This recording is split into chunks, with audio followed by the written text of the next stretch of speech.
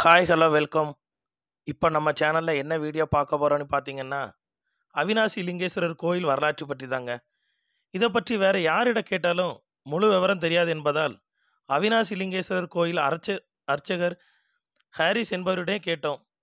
அவங்களும் உடனே ஓகேன்னு சொல்லி நமக்கு முழு வரலாற்றையும் பத்து நிமிடத்தில் சொல்ல முடியாவிட்டாலும் சுருக்கமாகவும் அழகாகவும் குறைந்த நேரத்தில் சொல்கிறேன் என ஒப்புக்கொண்டார்.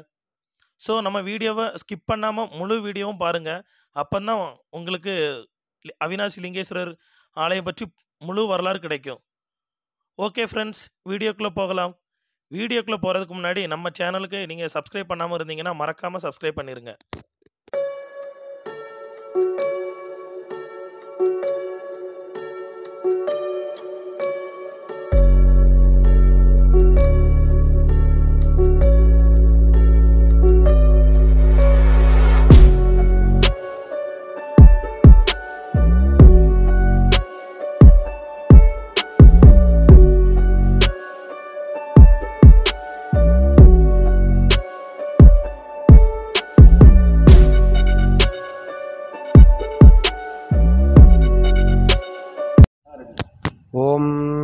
பார்வதீபததே ஹரஹர ஹர மகாதேவ தென்னாடுடைய சிவனே போற்றி எந்நாட்டவர்க்கும் இறைவா போற்றி வெற்றிவேல் முருகனுக்கு அரோஹரா ஓம் எற்றான் மறக்கேன் எழுமைக்கும் எம்பெருமானதே உற்றா என்ற உன்னதே உள்குகின்றேன் உணர்ந்து உள்ளத்தால் புற்றாடு அரபா திருப்புக்கொழியூர் அவினாசிதே பற்றாக வாழ்வேன் பசுபதிதே. பற்றாக வாழ்வேன் பசுபதியே பரமேட்டியேவும். திருச்சிற்றம்பலம். லிங்கேஸ்வரர் திருக்கோவில் வந்து மூவாயிரம் ஆண்டு பழமையான திருக்கோவில்.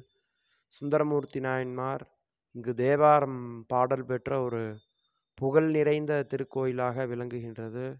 இந்த அவினாசலிங்கேஸ்வரர் திருக்கோவிலை பற்றி சொல்லணும்னா ஒரு நாள் பத்தாது ஒரு வருடம் பத்தாது சொல்லிக்கொண்டே போகலாம். அந்த வகையிலே சுந்தரமூர்த்தி நாயன்மார் சோழ நாட்டிலிருந்து சேரநாடு செல்வதற்காக அவினாசி நோக்கி வருகின்றார். அவர் வரும்பொழுது எதிர் வீற்றும் மங்கள ஒளியிலும் அதன் எதிர் வீட்டில் அமங்கல ஒளியும் கேட்டது. நம்மெல்லாம் இருந்தால் எங்கே போவோம்? மங்கள ஒளி கேட்குற வீட்டுக்கு தானே போவோம். ஆனால் சுந்தரர் எங்கே போயிருக்கார்? அமங்கல ஒளி கேட்குற வீட்டுக்கு போயிருக்கார். எதற்காக அழுகிறீர்கள்? அப்படின்னு கேட்கும்போது அவங்க அப்பா அம்மா முதல்ல சுந்தரரை புன்மருளோட வரவேற்கிறாங்க. சுந்தரர் வந்திருக்காரு நம்ம வீட்டுக்குன்னு அவங்க அப்பா அம்மா வந்து எந்த ஒரு இந்த சம்பவம் நடக்காத மாதிரி தெரிஞ்சுக்கிறாங்க. அவங்க முகத்தை மாற்றிக்கிறாங்க சுந்தரர் வந்திருக்காரு. அவர் வரும்போது நம்ம இப்படி இருக்கக்கூடாதுன்னு அவர் அவங்க அப்பா அம்மா முகத்தை மாற்றி இந்த மாதிரி வரவேற்கிறாங்க. ஆனால் சுந்தரருக்கு அந்த விஷயம் தெரிஞ்சிருது. இந்த மாதிரி விசாரிக்கிறார் எதனால் அழுதுன்னு இருக்கீங்க? அப்படின்னு கேட்கும்போது எங்கள் மகன் வந்து அவினாசி எப்பன்னு எங்கள் பையனுடைய பேர். மூணு வருடத்துக்கு முன்னாடி தாமரை குளம்னு ஒரு குளம் இருக்கும் இங்கே பக்கத்தில். அந்த குளத்தில் குளிக்கும்போது முதலை வந்து எங்கள் பையனை விழுங்கிருச்சு. எங்கள் பையனும் எதிர் வீட்டில் வந்து மங்கள ஒளி கேட்டுதுன்னு சொன்னேன்லைங்க அந்த மங்கள ஒளி கேட்ட பையன் அந்த வீட்டில் வந்து அந்த பையனுக்கு பூணூல் திருவிழா நடந்தது. இந்த சிவாச்சாரியார்கள் பிராமணர்கள்லாம் பார்த்தீங்கன்னா பூணூல் அணிவிப்பாங்க. அது ஒரு விழாவாகவே கொண்டாடுவாங்க. சாஸ்திர சாஸ்திரோக்தமாக அந்த சம்பிரதாயத்தை வந்து நடத்துவாங்க. அப்படி அந்த உபநயன நடந்துட்டு இருக்கும்போது அந்த பையனும் என்னுடைய மகனும் தான் வந்து குளிக்க போனாங்க. என் பையனை மட்டும் முதல்ல விழுங்கிருச்சு. அந்த பையன் உயிரோடு இருந்திருந்தா என் என்னோட பையன் உயிரோடு இருந்திருந்தா அந்த பையனோட சேர்த்து எங்கள் பையனுக்கு பூணல் போட்டிருப்போம். என் மகன் இல்லையே அப்படின்னு சொல்லி ரொம்ப வருத்தப்பட்டுண்டு அவங்க அப்பா அம்மா அழுதுன்னு இருக்காங்க சுந்தரர் இந்த மாதிரி எந்த குளத்தில் இந்த முதலை விளங்கிடுச்சுன்னு கேட்கும்போது இந்த குளத்துக்கு ஊர் பொதுமக்கள்லாம் கூட்டின்னு போகிறாங்க அந்த குளம் வந்து இந்த சம்பவம் நடந்த இது வந்து பங்குனி மாதம். நடந்த மாதம் வந்து பங்குனி மாதம். இந்த பங்குனி மாதம் பார்த்தீங்கன்னா எப்போவுமே வறட்சியாக இருக்கும் மழை பெய்யாது வெயில் கடும் வெயிலாக இருக்கும். சித்திரைக்கு முன்னாடி மாதங்கிறதுனால ரொம்ப கடும் வெயிலாக இருக்கும் வறட்சியாக இருக்கும். குளமும் வறண்டு தான் இருந்தது.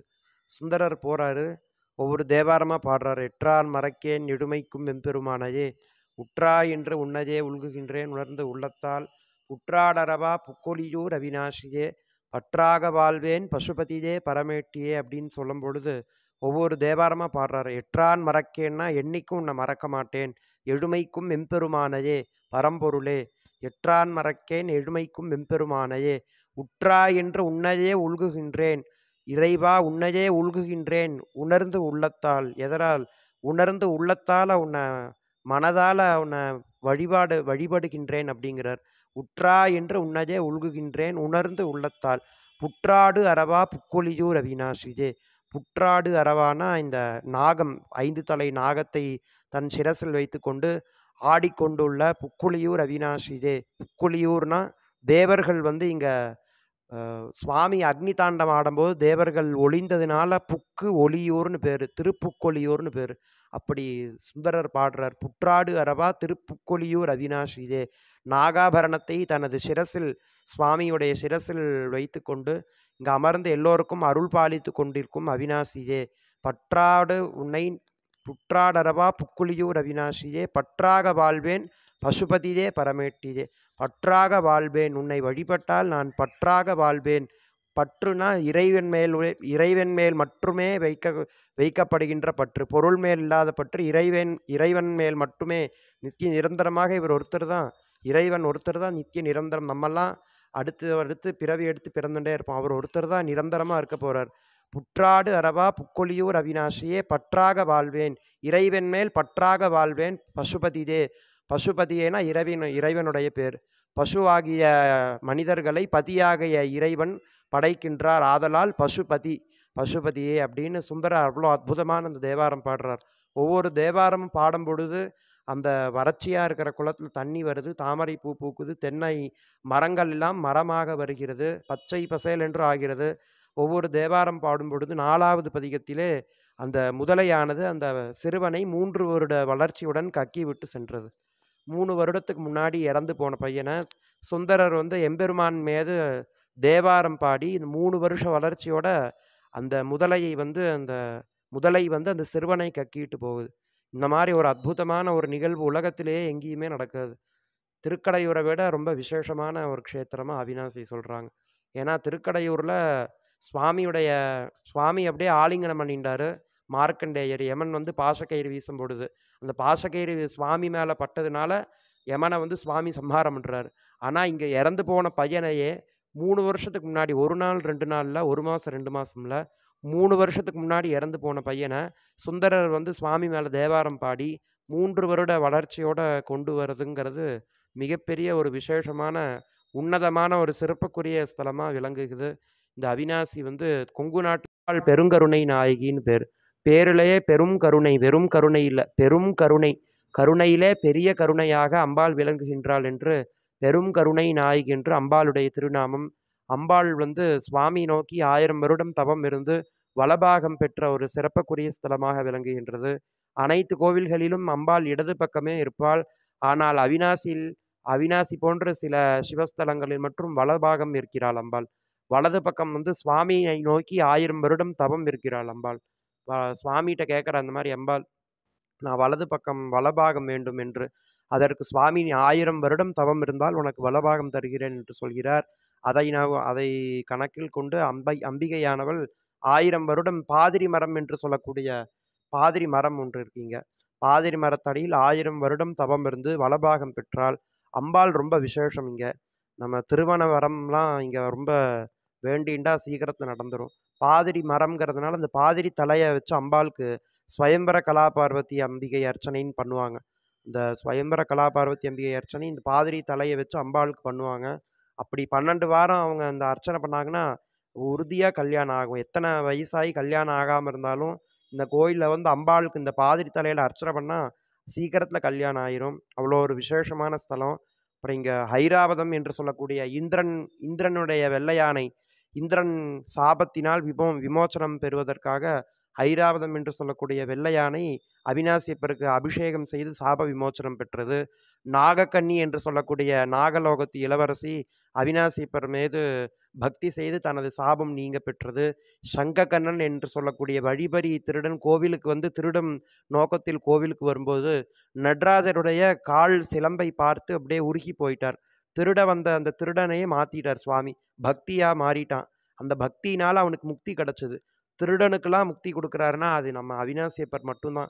அப்படி சொல்லக்கூடிய நிறையா விசேஷங்கள் நிகழ்ந்து கொண்டே இருக்கிறது. அப்புறம் ஒரு துறவி வந்து துறவி கையில் ஏடு வச்சிருக்காரு. கண் தெரியாத துறவி அவர். அந்த ஏட்டில் இருக்கிற துறவி ஏடு வச்சிருக்காரு. இரு காக்கைகள் வந்து தனது ஒரு காக்கை வந்து தனது குஞ்சுகளுக்காக இரை தேடிக்கொண்டு இரையை தன் வாயில் வைத்துக்கொண்டு சென்று கொண்டிருக்கும் போது மற்ற காக்கை வந்து இந்த காக்கை மீது பட்டு அந்த இரையானது திரு இந்த துறவியினுடைய திருவோட்டில் விழுந்ததனால் இந்த இரண்டு காக்கைகளுக்கும் இந்த துறவிக்கும் முக்தி கொடுத்துருக்கார் சுவாமி.